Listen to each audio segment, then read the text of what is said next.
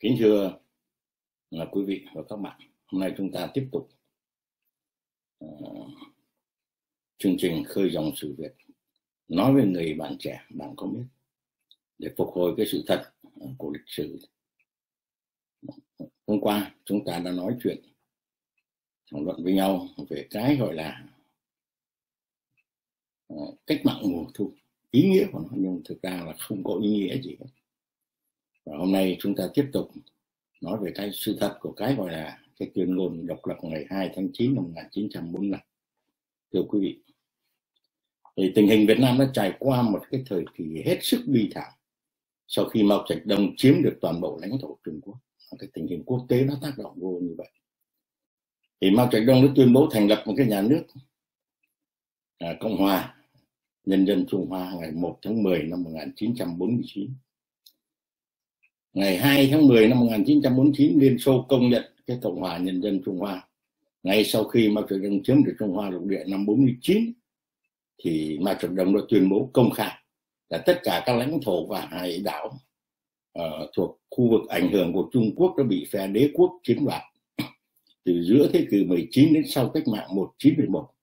như Ngoại Mông, Triều Tiên, An Nam, Hồng Kông, Macau cùng những đảo và Thái Bình Dương như Sakhalin, Đài Loan, Bành Hồ sẽ phải được giao hoạt cho Trung Quốc. Mao Trạch Đông là tuyên bố trắng trợn ý đồ xâm chiếm Việt Nam như sau. À, chúng ta phải giành được Đông Nam châu Á bao gồm cả Miên, Nam Việt Nam, Thái Lan, Miến Điện, Malaysia và Singapore. Việt Nam à, là bản đạp tiến xuống phía Nam. Chúng ta phải chiếm cho bằng được.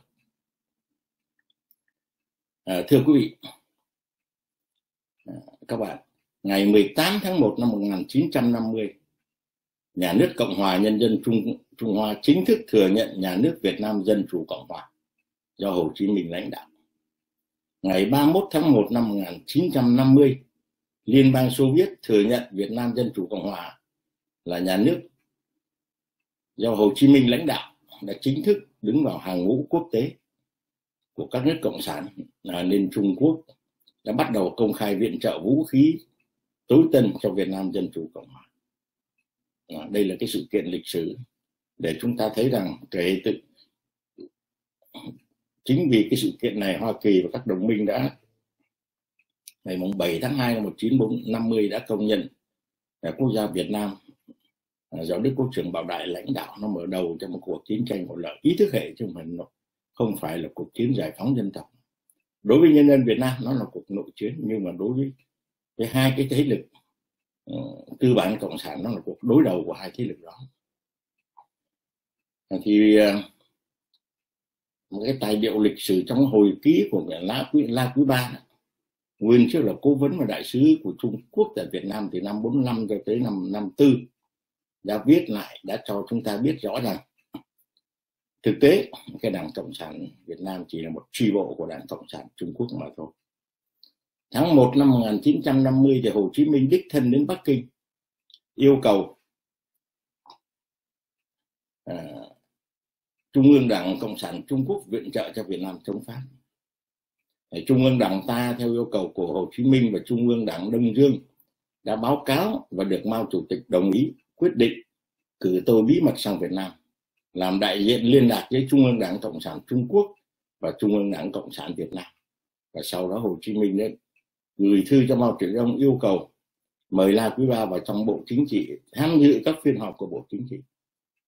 À, chính vì vậy, cái ngày 7 tháng 2 năm 1950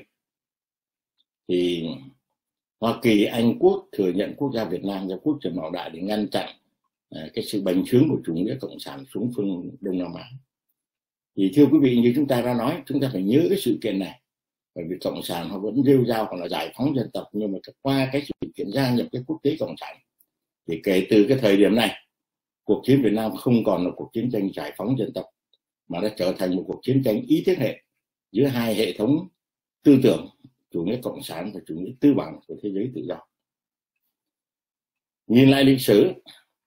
thì chúng ta thấy rằng cái gọi là tuyên ngôn độc lập 2 tháng 9 1945 và khai sinh cái gọi là nhà nước Việt Nam Dân Chủ Cộng Hòa trên thực tế chỉ là một cuộc cướp chính quyền đúng nghĩa của nó. Luận điệu tuyên truyền cho rằng cuộc cách mạng mùa thu là thắng lợi của chủ nghĩa Bắc Lê, được vận dụng một cách sáng tạo vào hoàn cảnh lịch sử cụ thể của cách mạng Việt Nam, là thắng lợi của tư tưởng Hồ Chí Minh và đường lối cách mạng đúng đắn, đầy sáng tạo à, của Đảng Cộng sản Việt Nam, là hoàn toàn láo quét. Cái gọi là độc lập tự do hạnh phúc chỉ là bánh vẽ. Cái gọi là giải phóng dân tộc cũng chỉ là chiêu bài mê hoặc quần chúng thực tế, lịch sử đã chứng minh rằng đảng cộng sản việt nam không hề được nhân quần chúng ủng hộ. Vì nếu được nhân dân ủng hộ, thì tại sao đến ngày 16 tháng 3 năm 1951 Đảng Cộng sản Việt Nam lại đổi tên là Đảng Lao động Việt Nam? Tổ chức trá hình của Đảng Cộng sản Đông Dương do Trường Trinh làm tổng bí thư à, để núp dưới danh nghĩa này kêu gọi công nhân và nhân dân chống Pháp à, thực tế nó lại phơi bày là sau khi xâm chiếm miền Nam ngày 30 tháng 4 1975 à, thì đến ngày 25 tháng 4 năm 1976 Cộng hòa lâm thời miền Nam Việt Nam tổ chức cuộc bầu cử quốc hội. Ngày 2 tháng 7 năm 1976 thì quốc hội tuyên bố thống nhất Việt Nam đặt tên nước là Cộng hòa xã hội chủ nghĩa Việt Nam cờ và hiến pháp là cờ và hiến pháp của Việt Nam Dân Chủ Cộng hòa. Cái gọi là mặt trận dân tộc giải phóng và chính quyền lâm thời miền Nam Việt Nam đã bị giải tán bị khai tử một cách tức tưởi. Cái điều này lại cũng chứng tỏ một lần nữa à, trong những cái người có mặt trong cái mặt trận dân tộc và cái chính quyền lâm thời miền Nam hiểu rằng họ cũng là chỉ là công cụ nhất thời cho cái đảng cộng sản Việt Nam. Thưa quý vị đây là một sự thật lịch sử nữa để chứng tỏ rằng cái bộ mặt thật cộng sản đã lợi dụng cái danh nghĩa cái lòng yêu nước của toàn dân. Khi được giải tán đảng cộng sản lý thành lập đảng lao động thì đến ngày 14 đến ngày 20 tháng 12 năm 1976 ấy, thì đại hội cái đảng lao động lần đầu quyết định lấy tên lại là đảng cộng sản việt nam lộ nguyên hình là đảng cộng sản việt nam. Lấy lê duẩn được bầu làm tổng bí thư. Thì quý vị đã thấy qua cái sự kiện lịch sử này đây là sự thật lịch sử thì cái bộ mặt thật của cộng sản đã phơi bày trước lịch sử sau hơn à, 25 năm núp dưới danh nghĩa của đảng lao động để lợi dụng lòng yêu nước của toàn dân à, để bành trướng chủ nghĩa cộng sản xâm chiếm miền Nam nhuộm đỏ cả Việt miền Lào. À, sự thật lịch sử cũng chứng minh rằng tập đoàn Ờ, Việt Nam Cộng sản đã cướp công kháng chiến, biến kháng chiến thành thỏa hiệp với thực dân Pháp để chia đôi đất nước. Cướp công của cái gọi là mặt trận dân tộc giải phóng Việt Nam Việt Nam để nhuộm đỏ toàn cõi Việt Nam, mở đường xuống Đông Nam Á cho đế quốc Mỹ Trung Cộng lời tuyên bố của Lê Duẩn là chúng ta đánh cho đế quốc Mỹ là đánh cho Liên Xô,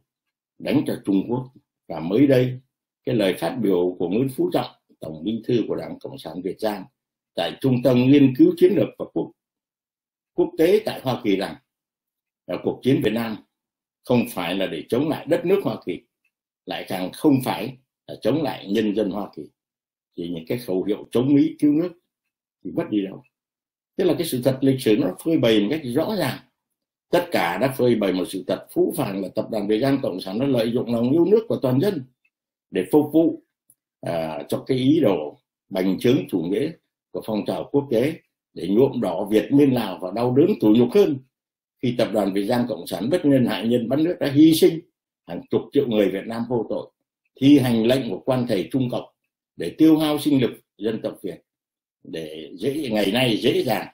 thao túng, thống trị dân tộc Việt hơn. Đó mới là ý đồ thâm sâu, tức là chống Mỹ cho đến người Việt Nam cuối cùng. Và họ hay dùng, là Mỹ dùng đó, nhưng mà thực tế chính cái quốc tế cộng sản và cũng trước mắt là cộng sản Trung Quốc đã phát động cuộc chiến tranh chống lại đế quốc Mỹ, nó gọi là đế quốc Mỹ, cho đến người Việt Nam cuối cùng và ngày hôm nay hoàn toàn lệ thuộc vào Việt Nam là như vậy. Thưa quý vị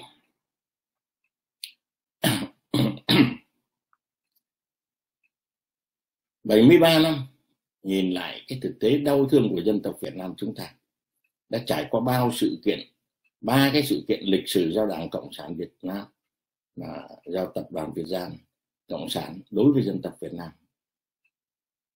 Trên quan điểm dân tộc, đó là ba cái ngày quốc hận, thưa quý vị. Ngày quốc hận thứ nhất là ngày 2 tháng 9 năm 1945 nếu Hồ Chí Minh không đem chủ nghĩa cộng sản vào Việt Nam, nếu Hồ Chí Minh không phải là cán bộ cộng sản quốc tế thì Việt Nam đã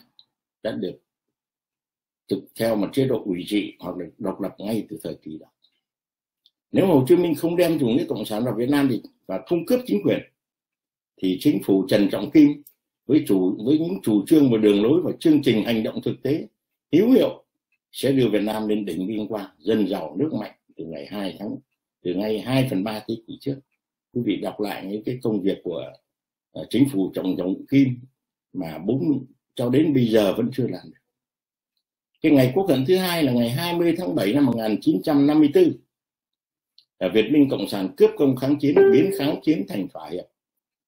cấu kết với thực dân Pháp để chia đôi đất nước. À, chính cái sách trắng của cái gọi là nhà nước Cộng hòa xã hội chủ nghĩa Việt Nam đã viết về sự kiện này sau cái cuộc chiến 17 tháng 9 năm à, 17 tháng 2 năm 1979 thì cái sách trắng của Cộng sản Việt Nam đã viết rằng thừa nhận cái thực tế phũ phàng là cả Liên Xô ờ, và Trung Quốc đều muốn kết thúc chiến tranh tại Việt Nam. Trung Quốc muốn cùng tồn tại trong hòa bình mà họ cho rằng chỉ có như thế mới phù hợp với lợi ích của dân tộc họ. Lúc đó cũng đã sáng mắt ra phần nào, bây giờ cũng còn chưa sáng mắt.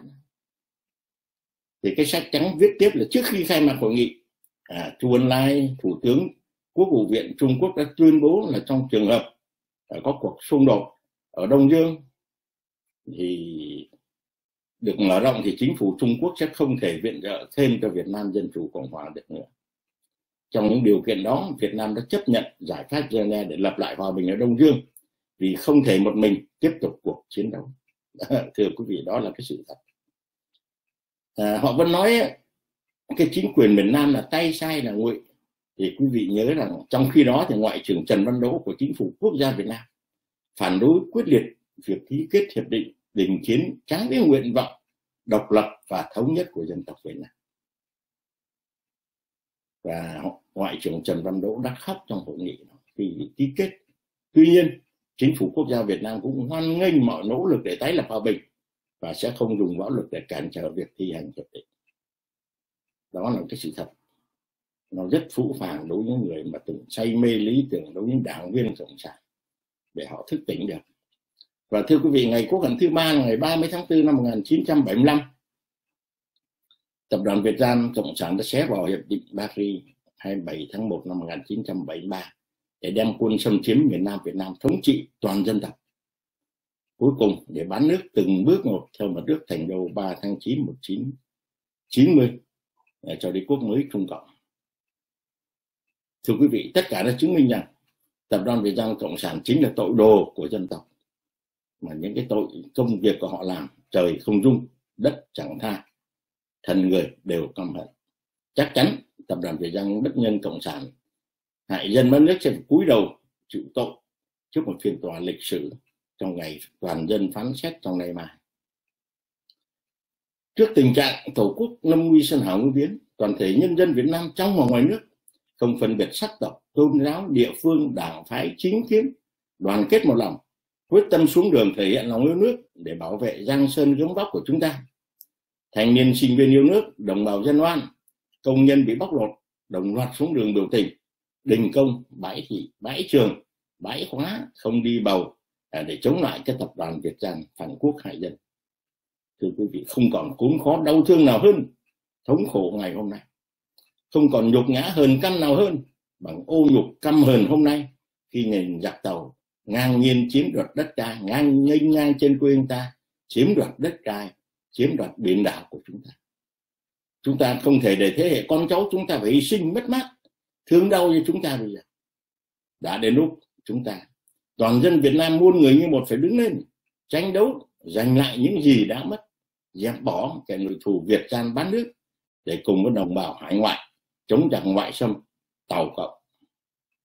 Chúng ta không còn gì để mất nữa. Nếu có mất chỉ mất cái siết sình, nô lệ, mất cái sự đói khổ mà thôi. Chúng ta hãy nắm chặt tay nhau, đứng lên tranh đấu, giành lại dân chủ tự do, giành lại quyền sống làm người, giành lại chính quyền về tay nhân dân. Thưa quý vị, cuộc biểu tình ngày 10 tháng 6 vừa qua trên toàn quốc với cả trăm ngàn người là một cái ngày hội lớn của lịch sử là ngày khai mở cái đại hội diên hồng thời đại Việt Nam. À, với hào khí diên hồng và tây sơn thời đại toàn dân toàn quân Việt Nam hãy đứng lên giành lại quyền làm chủ của nhân dân để chuyển đổi lịch sử đón mừng một xuân dân tộc trên quê hương Việt Nam thân yêu của chúng ta trong năm nay.